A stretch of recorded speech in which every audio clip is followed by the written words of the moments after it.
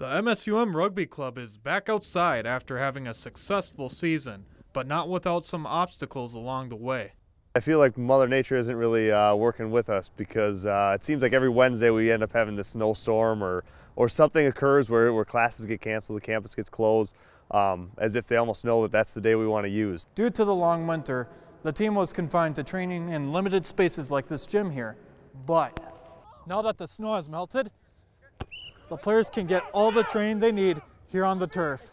Head coach Cody Krockkramer is grateful for the club to get its practice field back. Feels like a little like five, ten degrees a little colder um, than everywhere else, but it's it's way worth it. It's been such an asset for us. Getting back on the turf is just one of the highlights for the club this spring.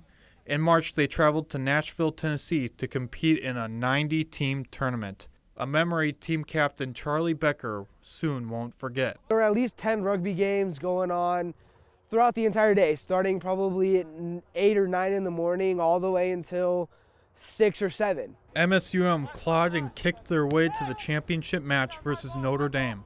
But with the weekend coming to a close, the players and coaches had to make a very tough decision. We had a 16 hour drive back home.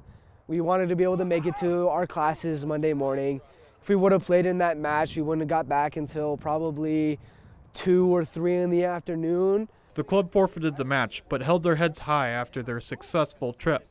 Really, everything that they've done, all their successes, has been on their own shoulders. With the field in great condition, all there is now is to finish up the season strong. With photographer Josh Boyko, Nick Tabatt, Campus News Sports.